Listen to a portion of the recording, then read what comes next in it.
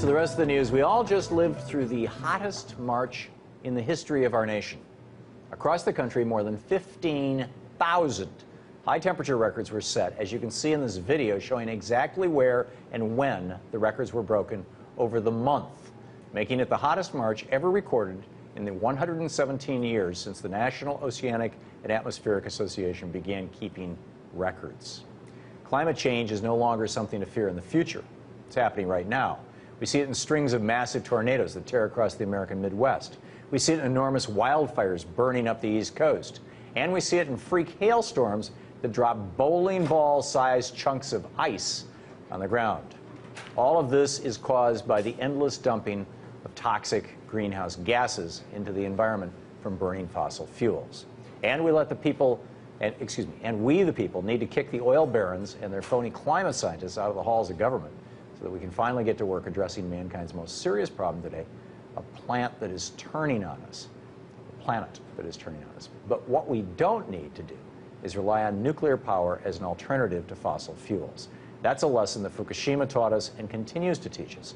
Kelp off the coast of California was found to contain levels of radioactive iodine stemming from last year's ongoing Fukushima nuclear crisis in Japan. A team of biologists at California State University Long Beach discovered the contaminated kelp, though claimed that the levels of radiation were too low to be harmful. Then again, no amount of radiation is good, but this study does prove that what happens environmentally on the other side of the world does drastically affect the United States. For more on the dangers of nuclear power as an alternative to fossil fuels and what's going on with all this stuff from Fukushima, I'm joined by Paul Gunter, director of the Reactor Oversight Project at Beyond Nuclear. Paul, welcome back to the program. Hey, thanks again, Thom. It's great for, to have you joining us. Uh, radioactive kelp, is this just the beginning for the United States? Well, uh, I think that what we're seeing is the evidence of the fallout that when we first came on your show uh, back in March of last year, this was, this was the harbinger that we were, the message that we were bringing, that the radioactivity coming off that plant would precipitate all across the northern hemisphere. And now, uh, a little more than a year into this accident, we're seeing this bioconcentration, this biomagnification that we were talking about a year ago. It's uh, not only appearing in the kelp now off the coast of uh, California, but uh, we've seen uh, recent studies by the um, uh, Woods Hole Oceanographic uh, Institute where they're concerned that hundreds of miles off the coast of Japan, uh, we're uh, now showing evidence of bioaccumulation of radioactive cesium in um, sea bass, uh, it, it, some of the closer uh, schooling fish like smelt um, in lakes and ponds in Japan. The, uh, we're, we're seeing levels hundreds and thousands of times greater than what would naturally be there, naturally meaning that this is from, would be from bomb tests and Chernobyl. So we're seeing this incremental increase from all these other accidents that have occurred over the past decades now being compounded, now being added as additional body burden of radioactive toxicity in our environment. It's amazing. Uh, by bioaccumulation, um, the water has levels that are tens or hundreds or thousands of times more concentrated. It gets absorbed by the, the, the kelp or the, the animal life that massively concentrates it so it becomes tens of thousands of times. Then that gets eaten by the fish, the small fish. They get eaten by the large fish. And by the time it gets to something as big as a 700 pound tuna, what do we have? We have a, a situation that can present itself as a health threat uh, sometime down the road. I mean, any uh, exposure at this point raises your risk. But again, what we have to realize is that uh, the Fukushima Daiichi accident is now adding on to a history of radioactive accidents, deliberate testing of nuclear weapons, and, and this is increasing the body burden of all life. Um, how is this going to affect Americans living on the West Coast? And, how, and, and, and also, how is it affecting Japanese and uh, you know outside of the Fukushima area, but like in Tokyo. Right. Well, uh, again, the radioactive fallout that came from the Fukushima accident, it's now turning up in bamboo shoots, uh, milk, uh, beef. Uh, so it's both terrestrial contamination and marine-borne contamination. And uh, you know, we are bioaccumulators as well. Right. So We're the top of the food chain. we're at the very top of the food chain, and I think that the big concern right now is that all of the radiation standards are not taking into account the most vulnerable, vulnerable of our population, namely children and lactating mothers, but instead, uh, you know, the standards continue to be antiquated because they're based on the r- most robust in our population, you know, a 25-year-old male worker in a nuclear power plant. Right. So, well, not good. Um, Paul, thanks so much for Hey, being with thank us. you again, Thom. I appreciate, it. Thanks for showing up. We do not expect harmful levels of radiation to reach the West Coast, Hawaii, Alaska, or U.S. territories in the Pacific. That is the judgment of our Nuclear Regulatory Commission and many other experts.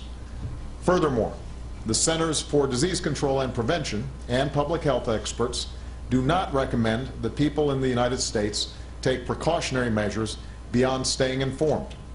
And going forward, we will continue to keep the American people fully updated because I believe that you must know what I know as president.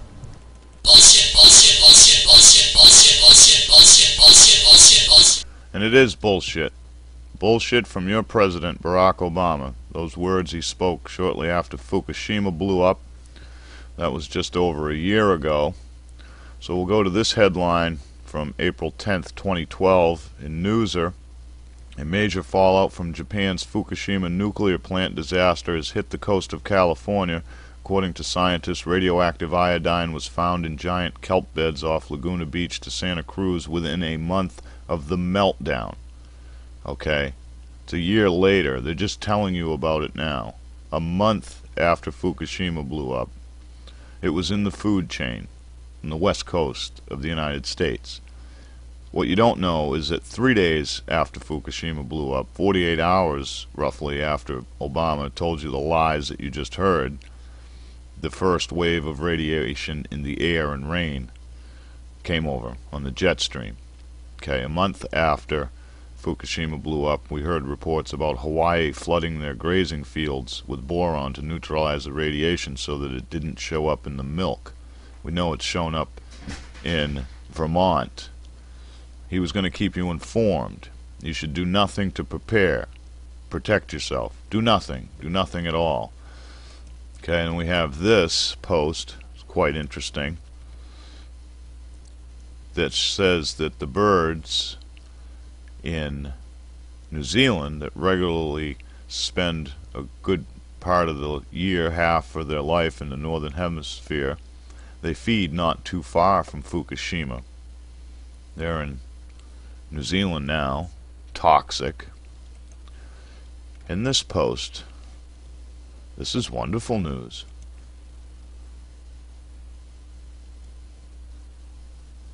Moving on to the continuing nuclear crisis in Japan, a radioactive wave is headed toward the United States. Sci- Okay. They have you convinced. That was a post in RT recently, Scott.net. I'll link you to that, link you to everything here. They want you to believe that it's another year away. Well, the debris that's floating on the top might be a year away, and that's enough to make you think that everything is fine. Everything is fine. Radiation is good for you. Bullshit, bullshit, bullshit, bullshit. This man, Obama, is a killer. He has not kept you informed. He blatantly lied. Now, you and I, we're probably going to die in a train wreck or a plane crash or a car accident before the radiation affects us. But look over at your children. What are they? 10, 12 years old? Okay, now, imagine going to see them their college basketball game and they drop dead on the court because their hearts didn't develop. Well, what if they're a football star? How many hits you think their bones are going to take after they've been radiated for 10 years? Obama 2012. If you want to die, all links will be below.